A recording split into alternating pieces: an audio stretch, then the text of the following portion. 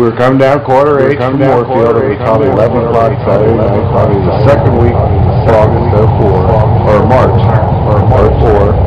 She was driving, I was She was just driving, I was just driving. gawking at the sky, gawking at And it was like a, and it was a red, and it was a red, uh, orange light, and it turned white, and it turned white, and it kept moving, and it kept across the sky, across the sky, across.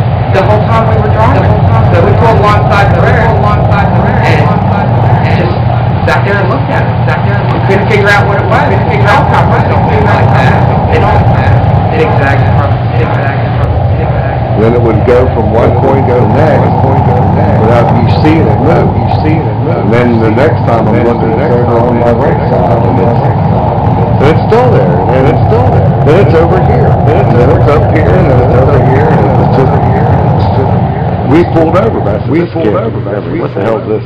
What the hell is this? Bullshit?